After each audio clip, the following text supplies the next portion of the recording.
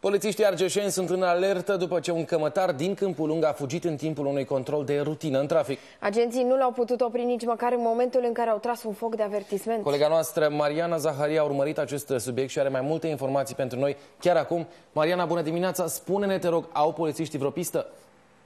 Bună dimineața, da, au reușit să-l identifice pe bărbat, uh, dar îl caută în continuare polițiștii din întreg județul. Vorbim despre un bărbat de 39 de ani din Schitu Golești, pe care polițiștii îl știau uh, cu probleme. L-au oprit pentru un control, i-au făcut de fapt semn să oprească pentru un control de rutină, însă acesta a refuzat și a apăsat uh, pedala de accelerație. Atunci polițiștii au plecat în urmărirea lui și au tras mai multe focuri de armă chiar pe drumul național 73, cel care uh, leagă Piteștiul de Câmpul Lung. La un moment dat șoferul uh, și-a abandonat uh, mașina și a rupt-o la fugă. Imediat după aceea, polițiștii au făcut o percheziție acasă, au aflat că era băut și avea și permisul de conducere expirat. Așa cum vă spuneam, el a fost identificat, se știe, adică uh, cine este, dar în continuare este dat în urmărire în întreg județul Argeș.